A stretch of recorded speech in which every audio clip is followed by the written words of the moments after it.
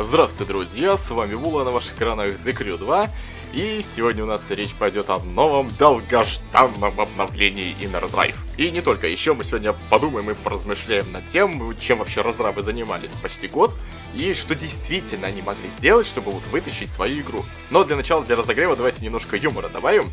Все наверняка помнят, что в описании обновления было написано, что обнова будет весить 10 гигабайт. Теперь вопрос, у кого сколько весила обнова? Эй, а вот и я. Только докачал обнову. Ну, чё там новенького? Какая нахрен обнова? 20 гигабайт хуеты. Подожди, подожди, подожди, там всего-то 14 гигов. Серьезно? А я качал. Что вы, блядь, несете? Обнова было 10 гигов всего лишь. В смысле 10 гигов? Вот именно, 20, а не 10. Да нет там 20 гигов. Да, ребят, не ссорьтесь. А он быть хуйню не несет. Это я-то хуйню несу. А у меня? Конечно, хуйню, обнова же на 20 гигов была. Да даже на сайте написано 10. На заборе тоже хуем слово мел написано, но мелом там не пахнет. Так ты к лору сходи, потому что обнова была на 10 гигов. Да на 14. Нет, на 20. Я еще раз повторяю, на 10. Блять. На 10. 19. 20. 14. 55? Ладно, ребят, ну, вы знаете, я же вроде не хейтер. Если есть плюсы в игре, я действительно все скажу. Если есть минусы, ну, также в тайне от вас не останется. Так что сейчас мы посмотрим на обнову трезво. Для начала начнем с плюсов. И самым главным нововведением, бесспорно, является изменение физики поведения транспорта.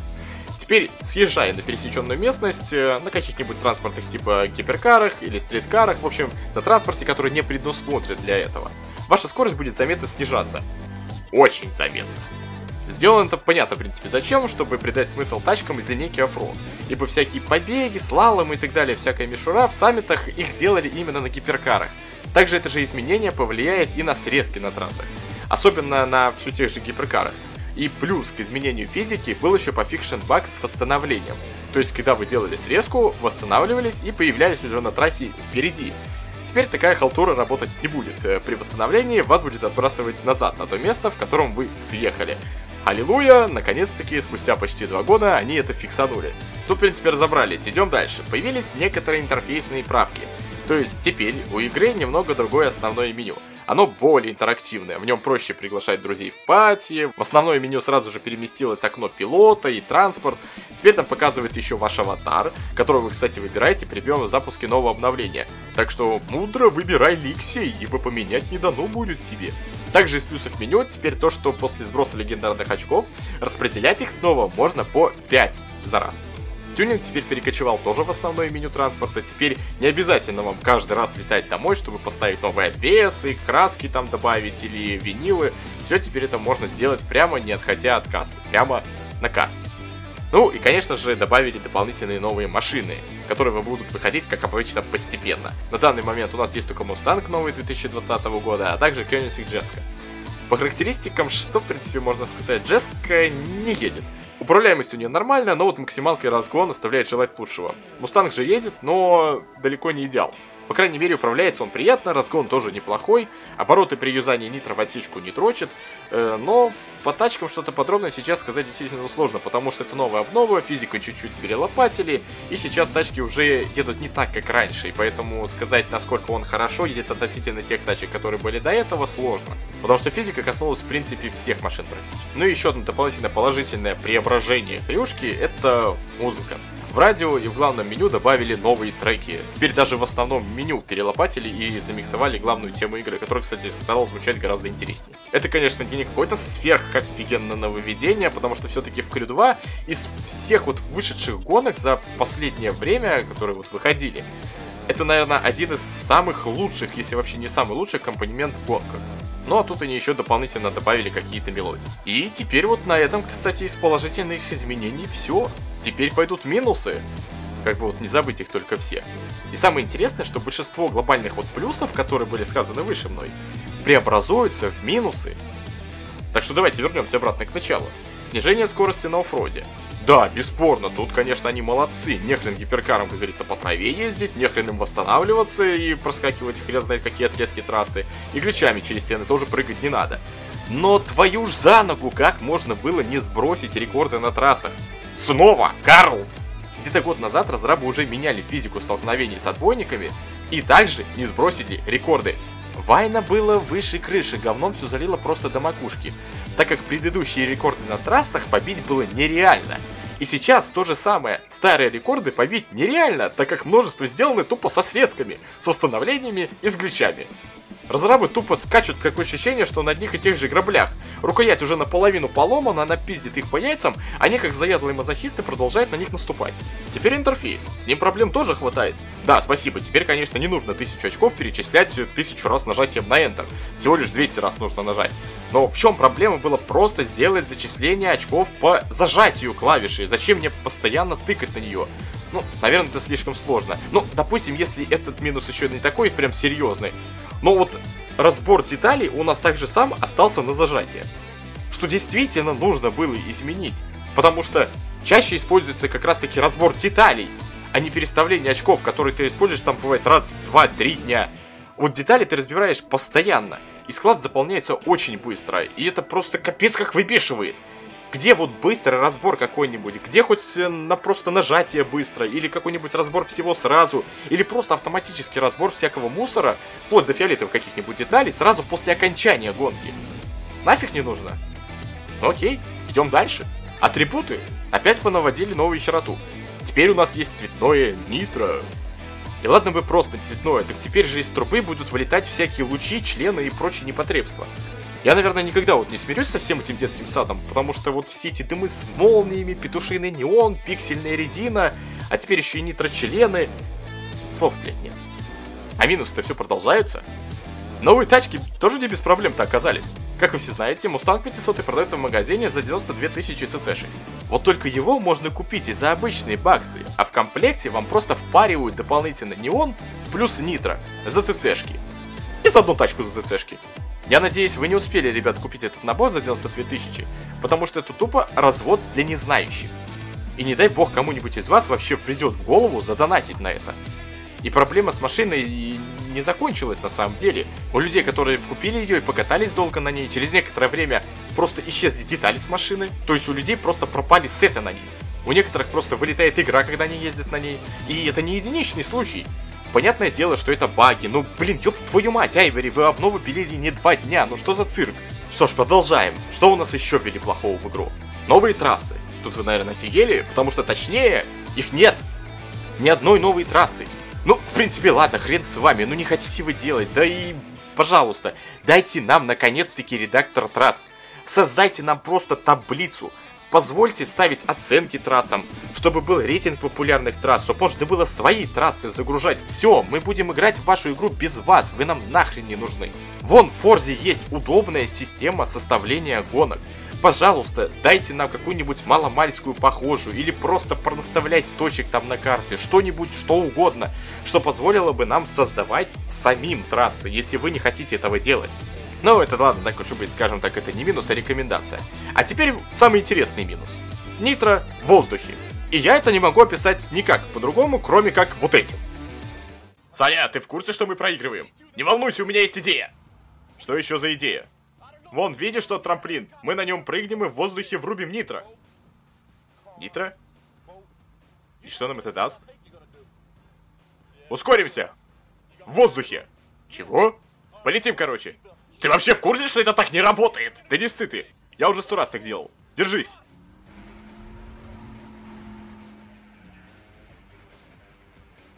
Дебил, блядь! Мы умрем! Стой!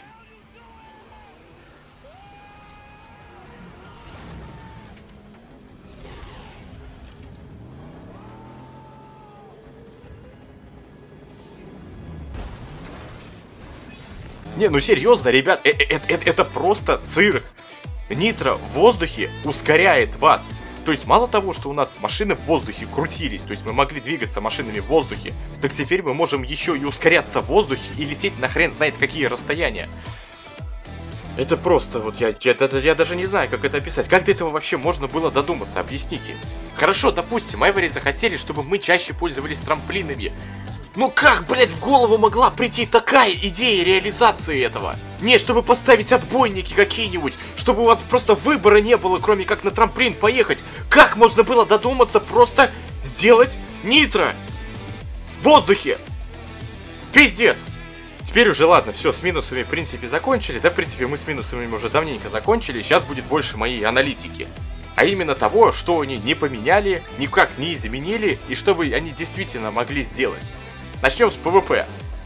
Хорошо, ладно, мы уже поняли, что вы не можете в сетевой код, работает у вас, э, ну, точнее, у нас уже все через peer-to-peer соединение. Ну так сделайте нам хотя бы осмысленное PvP, чтобы было ради чего в него заходить. В первой части там фармили хотя бы. То есть это единственный был способ нормально и быстро получить деньги, потому что за гонки отсыпали просто, ну, копейки, гроши, самые что ни на есть. Во второй же части крюшки мне проще три раза гонку в PvE проехать, чем ждать одну в PvP, потом, не дай бог, там вылететь, не получить вообще ничего. Ну, увеличьте вы заработок там в PvP хотя бы раза в три за первое место, ну и в зависимости там уже от места вниз по накатанной, чтобы туда был хотя бы смысл заходить, потому что одна гонка в PvP длится гораздо дольше, чем несколько гонок в PvE. Ну вот серьезно, какие-то вообще странные эти Ivory. Новые трассы не вводят, PvP не чинят. Это, кстати, я еще не говорил о постоянных всяких вылетах PvP и прочих режимах. Ну, сейчас как бы не об этом. Ну, не делаете вы трассы, PvP не чините, редактор нам не даете. Ну, хоть сами это сделайте нормально. Это основная ваша фишка на данный момент. Развивайте вы ее. Вы же там ничего вообще не делаете, просто тупо трассы меняете в каждом саммите. Ну, скучно же. Задроты за 30 минут проходят и больше туда не заходят ни разу. Новички даже в принципе туда не ломятся, потому что нет опыта и деталей. Они туда в принципе ничего не попадут и ничего не заработают. Но у вас же был отличный положительный опыт на Open Days, когда в саммите Green Flash давали. Все балансно было, всем нравилось. У новичков шанс, у задротов конкуренция. Идеально. Развивайте дальше. Сделайте какой-нибудь там месячный саммит, чтобы за каждую неделю добавлялось, к примеру, ну там по 20 событий со всех режимов. И в течение 4 недель добавлялись бы новые события. В итоге там, ну, я образно говорю, допустим, вот 80 событий со сами. Тут бы уже поразвлекались с лихвой, особенно если бы это все было балансно. На рандомных трассах, с рандомными деталями на машинах, с рандомными настройками даже куча разных событий в течение месяца с ценными наградами и с большей разбивкой по рейтингу. То есть за топ-10 одни награды, за топ-100 другие, за топ-1000 третьи, топ-3 тысячи, топ-5 тысяч, 10 тысяч, 15 и так далее ачивки какие-нибудь сделайте, чтобы профиль игрока, к примеру, показывалось там, чтобы, как, к примеру, в PvP на баннере люди видели, вот какой игрок против них попал, типа, о, смотрите, он задрот, там, типа, у него там какая-то медалька стоит, хрен пойми какая. Сделайте действительно прохождение саммитов чем-то запоминающимся, а не проехать, блин, на полчаса и забыть об этом. Ну хорошо, давайте в другую стезю перейдем. Не хотите вы развивать саммиты? Ну, введите новую систему какую-нибудь сражений. Простейшую. Возьмите свою карту. Или вы все равно ее не используете. У вас огромная карта, вы ее не используете. Разделите ее на зоны влияния, добавьте какие-нибудь новые организации. Сделайте так называемую фракционную составляющую. Вот у вас сейчас есть live-телевидение, вот это так называемое, которое вот э, реализовал вот этот Латрелл и так далее. Вот кто за сюжетом следил крюшки, то есть там вот это вот все, live, вот эти гонки. Введите каких-нибудь конкурентов, там еще какую-нибудь э, корпорацию, одну, две. Разделите мир на локации, который будет захватываться влиянием той или иной организации. К примеру, вот у нас есть два штата, которые стоят рядом. Они принадлежат разным фракциям. Игроки будут просто проходить рандомные события, которые будет предлагать именно сама игра. И тут уже не будет волновать, есть у тебя детали или нет у тебя деталей для такого режима. Все будет на сложности АС, и проходя гонку, вы будете получать очко влияния территории. Проигрывая, терять одно очко. И попытка будет только одна. То есть победили, проиграли, получили или потеряли. Вот вы проехали одно это событие, неважно, победили, проиграли, оно тут же сменилось на другое. Вы идете следующую попытку пробуете, следующую, следующую, следующую, и так катаетесь по гонкам. Пытаетесь захватывать территорию вражескую. То есть, чтобы обновлялось это все в прямом эфире. Для, вот, для захвата, к примеру, территории нужно было бы проехать тысячи событий. Не одному человеку, а в принципе всей фракции. А вот для того, чтобы, к примеру, не дать захватить свою территорию, можно ездить на событиях своей территории. И тогда, к примеру, очки будут прибавляться к твоей территории. Если вы, к примеру, фракции захватили территорию, то она, к примеру, на час ставится на блокировку. И на этой территории нельзя ездить, то есть нельзя ее отбить. И так в течение недели, к примеру. А в конце подводились бы итоги по фракциям. И в зависимости от того, кто больше на захватывал влияние, то есть на получал бы больше территорий, получали бы больше денег, фанатов, а может еще каких-нибудь наград. Да что я, в принципе, рассказываю? Это стандартная фракционная система, которая работает в куче игр. И в первой части Крю это было что-то подобное, и в Форонере такая же фракционная война есть. Еще бы круче было бы, если бы это вообще все было в PvP режиме реализовано. Хотя бы дуэльками, один на один. Тупо один на один. Чтобы в игру можно было заходить не просто саммит ездить, а чтобы на карте можно было чем-то заниматься. В общем, развивать игру можно было вообще в любом направлении, так как масштаб карты позволяет. Но Эвери, видно, плевать, и она опять начинает кормить нас завтраками. Новые точки со временем, какие-то хобби со временем, атрибуты со временем. Уже достала эта капельница. По чуть-чуть, помаленечку выдавать контент. А глобально не меняет ровным счетом ничего. Вот они такое ощущение, что вообще там ничего не делают. Давайте вот, вот чисто вот... Вот, вот рофл, пожалуйста вам. Ну, к примеру, что бы там творилось в Ivory за день до обновы. Итак, у нас завтра обновление. Вы все подготовили к его выходу? Да, конечно. И что же именно вы подготовили? Да много чего. Что именно? Контент? Контент? А поподробнее? Фестивали, редактор трасс, новый PvP, много еще чего. Э, он что, шутит? Это что, шутка такая? Никаких шуток. Мы плодотворно работали в течение нескольких месяцев и добавили огромное количество правок в геймплее. А, я все понял. Он просто долбоеб. С чего вы взяли? Вы же работаете? Да, и получая за это деньги. За что ваш отдел отвечает? За сетевой код? Только мы нихуя не делаем и получаем деньги. Но это неправильно. Так не должно быть. Вы, похоже, что-то не понимаете. Как давно вы у нас работаете? Где-то два месяца. Вот. Вы пока что еще зеленый. Поучитесь у Антона Олеговича. Его отдел занимается саммитами. И в отличие от вас, весьма успешно. Да вы что, смеетесь, что ли? Он и его отдел уже в течение полугода делает ровным счетом... Нихуя! Да, спасибо, нихуя не делает. Не нихуя, а больше контента с меньшими усилиями. Серьезно? Контента? Старые трассы? В новой обертке? Тяжелый случай. В общем, я уже обратился к совету директоров с требованием отстранить вас и переформировать наши отделы.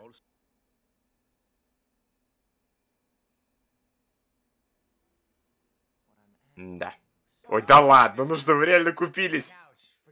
Вы думали, мы действительно чем-то занимались? Нет, ну я реально уже на очко присел. Нет, все, все в порядке. Наш отдел сделал все в точности, как и планировалось. Нихуя? Совершенно нихуя. Чем еще может заниматься отдел по улучшению графики и оптимизации? Ага. М -м. И это все, между прочим, я еще даже не заикался о проблемах с сетевым кодом, о багах, вылетах, просадках FPS после новой обновы, исчезновению звука, пропаже машин, прорисовке в 20 метрах от тебя, исчезновение в трафика, в принципе хреновом графоне, о зеркалах в конце концов и много о чем еще. Смысл был кидать всякие ваши опросники, если вы вообще ни к чему не прислушиваетесь. Я вот очень сильно сомневаюсь, что первым делом, что у вас попросили, это были новые саммиты и цветное нитро в виде членов. Я, в принципе, наверное, могу тут еще распинаться в течение часа, что вот мне нравится в крю, что мне не нравится в крю. Но могу сказать только вот что. Айвори обленились в конец. После апрельской обновы с саммитами, это было почти год назад, кстати, последняя обнова с неоном была в ноябре, которая из новинок привнесла только этот самый неон. Все это время мы терпеливо ждали. Чтобы нам опять впарили какую-то херню, слепленную вот просто на коленке, и опять сказали «Ждите, новых обновлений. Скоро будет получше. Идите вы в задницу. Да, наверняка, может быть, найдутся из вас люди, которые скажут, ну и вали ты, нафиг ты нам тут нужен, на одного нытика меньше станет. Можете это идти и сказать кому-нибудь другому. Я этой игре отдал приличное количество времени и денег, собственно. Я имею полное право высказывать любое свое мнение по этому поводу, потому что я знаю эту игру вдоль и поперек. Я знаю каждый баг, каждый глюк и каждый косяк этой гребаной игры. И я на самом деле надеюсь, что я в эту игру больше не вернусь. Потому что делать в этой игре просто нечего. Можете идти кормить завтраками кого-нибудь другого, я на эту херню больше не поведусь. Когда будет действительно изменение, тогда придем. Не будет изменений, нахрен идите. Ну а на этом все, друзья. Я надеюсь, вам, ну не то чтобы сказать понравилось это видео, но я надеюсь, вы хотя бы поняли мои мысли и подпишитесь на канал, поставите лайк и нажмете на колокольчик, чтобы не пропускать новые видео, а также стримы. И играйте, ребят, только в хорошие игры. Всем удачи, всем пока!